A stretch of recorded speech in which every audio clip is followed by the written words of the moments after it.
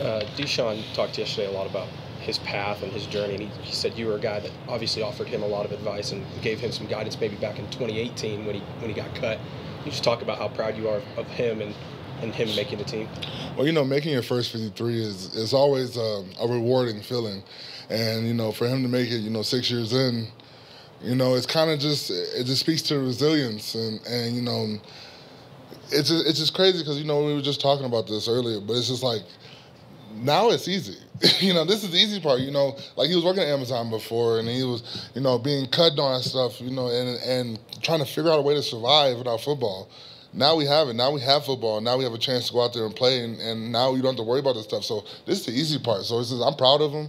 You know, it takes a lot to to be told no that many times and and and to keep fighting. And so it's just, uh, you know, we're we're all proud of him. You know, it's just it's just it's something special about it. You know, it's just our whole D line is made up of guys who who have constantly fought, you know, and clawed to stay in this league. And and you know, it's just the Broncos have shown like if you go out there and you perform, you know, we'll take care of you.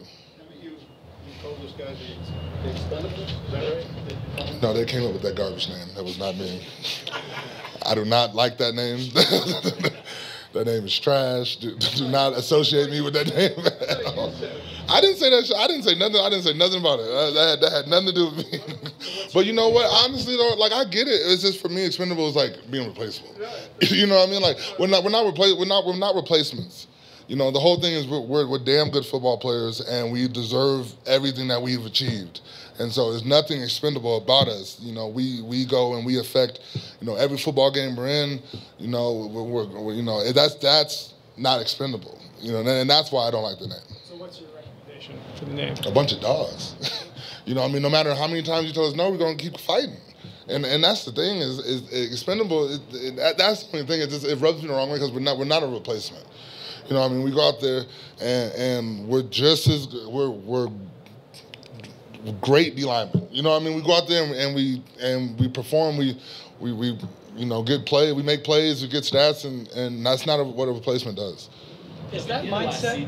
Of the D line starting to bleed into this team? You say we're dogs, where you won't quit, we won't give. Do you feel that finally developing with this group this year as you enter the? I mean, that's how it's, that's how it's always been.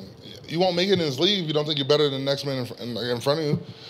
You know, it's all about confidence. It's all about, you know, pretty much just knowing you're good and going out there and enforcing your will. And without that mindset, you won't make it in this league. So, you know, everybody has to have that dog mindset everyone has had that mindset that I'm better than you, and and that and you know that's what football is. It's, it's all about the confidence because you know players play differently when they lose confidence. You've seen it all multiple times all over the years. Players have lost their confidence. They're not the same player.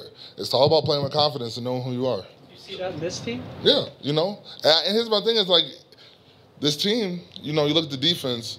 You know, everyone's saying, "Oh, we're expected to do great things," but the whole thing, the reason I know we will, is because everybody on here takes everything personal. You know, we go out there and and let's say to get a run of ten. All right, that's on me. I got the. You know what I mean? It's it's, it's everything. Everyone takes this personal. Everybody wants to be the best, and that's what it takes to be the best. This whole team, everybody wants to be the best, and that's why you know. You keep talking about, you know, we started slow the last two years, the last two, three years, what 0 and 7 in September, and that's unacceptable. We want to be the best, and we can't keep you know, kicking ourselves and stumbling out the blocks. Like you got to go out there and you know we got to be the best from game one to game 17. So what do you think makes the difference with this team than the past two years going into the season? I definitely think the difference is just the team. You know, it's a lot more. It's a veteran presence, and I think players are stepping up and, and demanding more. And, and I think that's just what it's going to take talked in there about the slow start, though, in seven. Is it something you guys discuss a lot and say we can't do this, or is it just understood? No, we no, we've talked about it before because we're like, how we're going to change it. It's it's not like a secret, you know.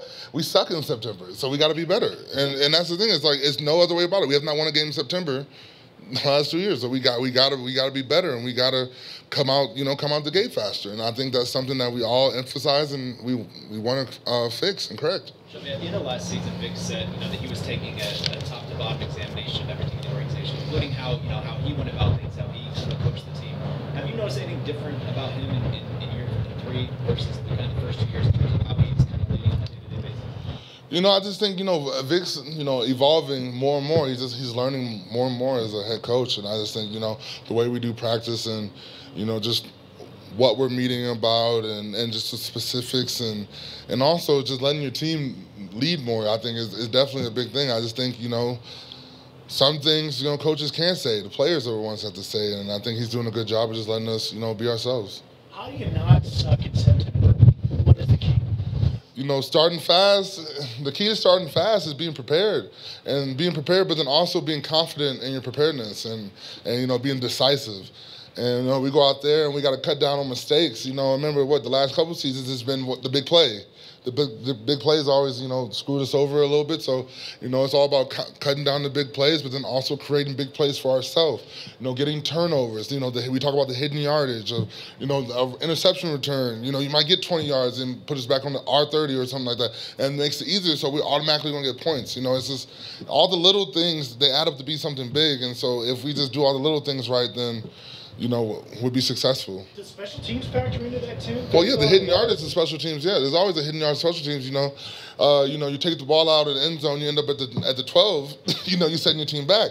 But if you take the ball at the end zone, you end up at the 35. You know, you, that's that's the hidden yardage, the positive hidden yardage that we talk about. Speaking of special teams, have you been able to kind of help other guys get to your level in terms of blocking kicks, or is that just your thing? Well, you know, it's not something really you teach. It's just something you just do. It's, and, and the thing about blocking kicks is really just effort.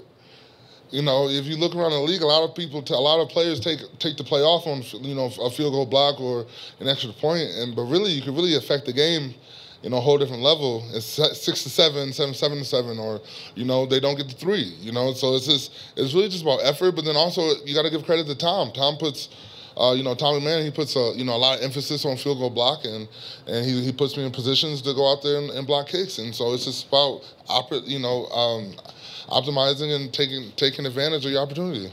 With you and Mike and Dre'Mont, do you have specific goals for that front unit this year, like sacks, tackles? I mean, would... man, we just want to win. You know, you can talk about goals all you want to. Stats come with the wins.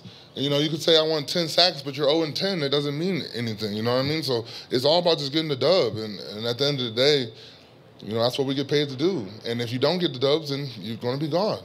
And so the only stat that needs to matter is wins. All right. Thanks, Shelby. I appreciate it.